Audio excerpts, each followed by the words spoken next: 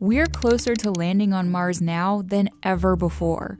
Private companies like SpaceX are achieving new feats in rocket science, the likes of which we've never seen. But rockets will only take us so far. There are more problems unique to Mars that still stand in our way. One of them is where would we live? Mars is a desolate desert pretty much no matter where you look. It's not like there are any oceans or snow capped mountains to help us decide where to settle down. But that hasn't stopped this guy from trying to figure it out. Our main goal is to investigate if it is possible to grow crops on Mars and Moon soil uh, for people when they go over there and live there. Wamelink and his colleague Line Chug have actually made a map of where we should live on Mars. The map accounts for radiation levels, climate, terrain, and perhaps most importantly, the soil. We looked at the amount of nutrients in the soil, for instance, calcium, magnesium, and also other nourishment like phosphates and nitrates. So, what you would normally expect in manure. And we also looked at the amount of ice that is available. That is not uh, the same everywhere on Mars. There are areas where there's almost no ice, and there are areas with a lot of ice. The most habitable places are labeled in dark blue on the map and we're pretty familiar with some of these locations.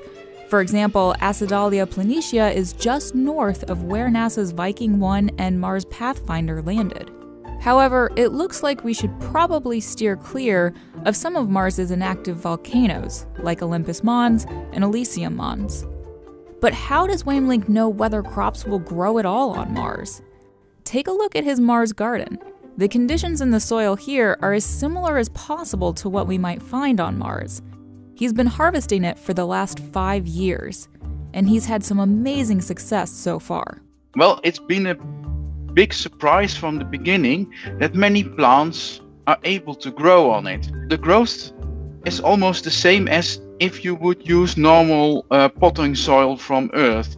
It's not completely the same, but we are getting there we had huge harvest of green beans, also tomatoes, but carrots are growing fine, even potatoes. So many different types of crops we are now able to grow. Wamelink hopes that his work will help lay the foundations for the first Martian farms.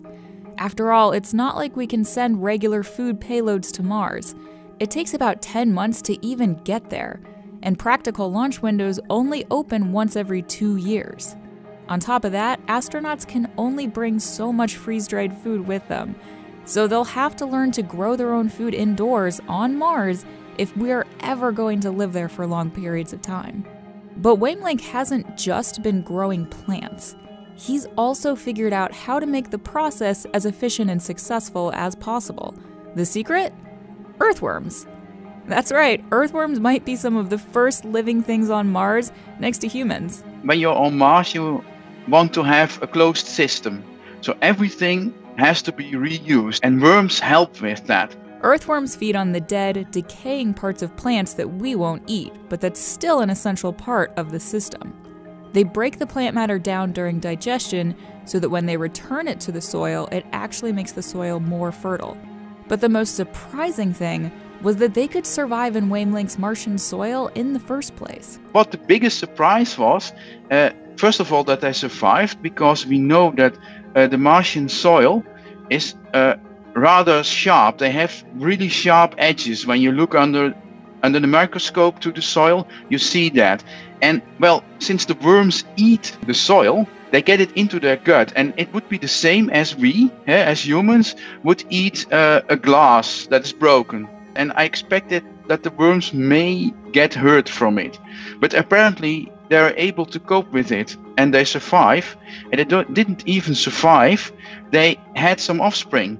And that was the big surprise for us. One of Wamelink's next big experiments is to perfect the Martian potato. Turns out potatoes grow extremely well in Wamelink's garden, but they just don't grow to be very large. And that's something we have to solve because then you get potatoes that are very small and not very tasty.